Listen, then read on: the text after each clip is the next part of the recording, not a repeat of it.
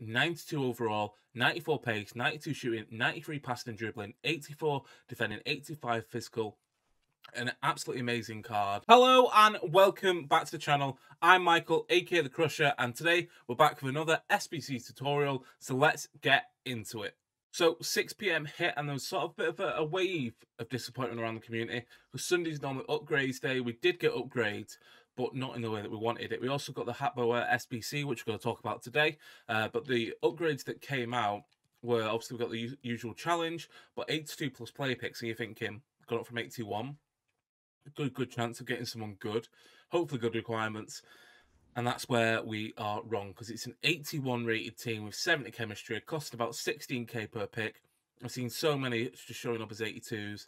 The market's all over the show at the moment. Uh, so unfortunately, I'm going to be avoiding these. Uh, I'd have loved to have done them to get some uh, Path Glory players, but just simply not worth it. We also got the 81 to 87 play pick, and then check out that dynamic image from Joe Willock. Solid indeed. Probably one of my favourites in this game this year.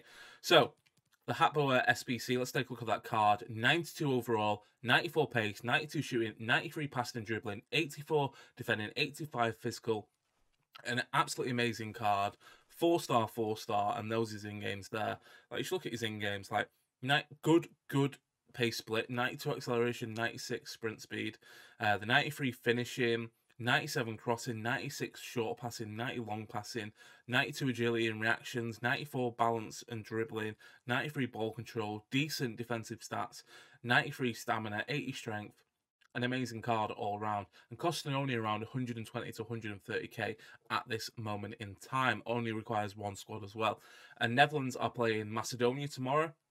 Obviously, Netherlands have looked really impressive in their first two games. So if they get that third win, it's going to become a 94 rate card. And for 120k, it's going to be either a good starter or a very good impact sub. Could even come on as sort of a, a central midfield role if you really needed it. But yeah, should get that upgrade. Potential of getting further upgrades. Depends how Netherlands do it in the knockout stages. But yeah, let's go and take a look at what you need to do to complete him. So the requirements are one Netherlands player, 86 raid, and 55 chem. So as I mentioned, about 120 to 130k. Uh, I'm using all these players because they're untradeable. Uh, and yeah, we come to the point now where what mid to end of June, just gonna have a bit of fun. So uh, yeah, all untradeable. We'll send in Golovin as well. Um, putting two 90 rated in the squad and using like 83s to bring it down. So yeah, we're using the Path to Glory Golovin, who I packed untradeable, and he's like 40k. Russia are going out of tournament, so yeah, he won't be getting any upgrades anytime soon. Then we've got Castiles, Skriniar, the uh, Senesi sort of um, season progress card, uh, Hradecky, uh, Witsel, Reus.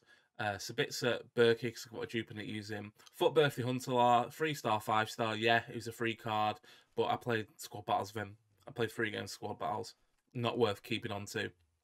Uh, and then another card that I did was free card was headliners uh, Matheus Cunha from Hertha Berlin, four star, four star. Never played a game with him, never will.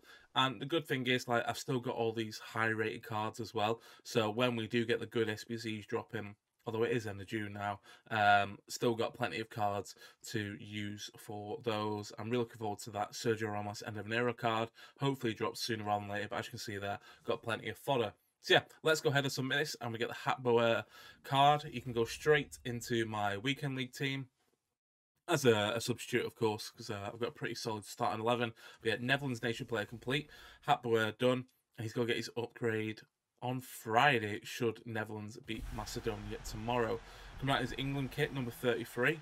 Um, yeah, but solid, solid player. Hopefully gets that dynamic image updated soon. Uh, but yeah, Berkey can now go to the um, uh, club as well. But yeah, this is the weekend league team.